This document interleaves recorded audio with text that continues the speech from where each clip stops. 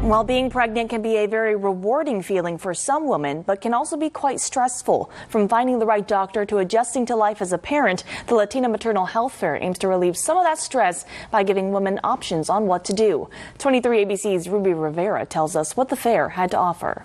Services like healthcare, post pregnancy support groups, and free ultrasounds are just some of the resources available at the Latina Maternal Health Fair, with the overall goal being to ensure that the Latina community has options to make their own healthcare choices.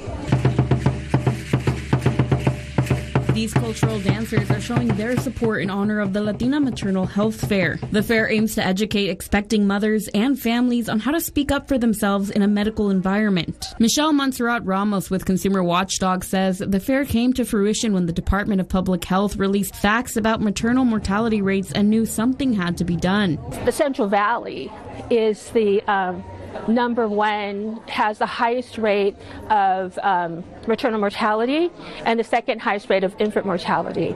Alongside Consumer Watchdog, many other Kern County organizations were at the event to share their resources with the public. Marivet Torres is a licensed midwife and provides services for low risk patients who would prefer to have an at home birth and says her services are targeted towards women's wants and needs. People think the only place that they can have their babies is in a hospital.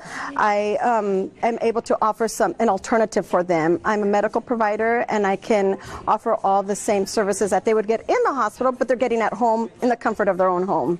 Torres says she is the only Latina midwife in Kern County. Being able to speak Spanish fluently, she says she is pleased to be a part of an event where she is able to share her resources with others. A number of organizers catered toward expecting mothers, but other groups also focused on families who already have children. Community development specialist with Kern County Child Support, Tiana Mitchell, says their organization focuses on child support orders, but also provides resources and information to families. We believe that maternal health is very important important.